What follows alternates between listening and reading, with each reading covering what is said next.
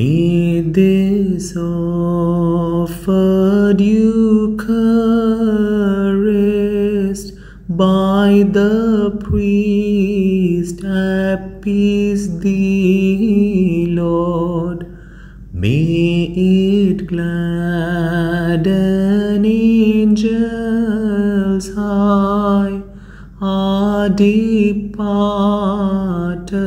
ones absorb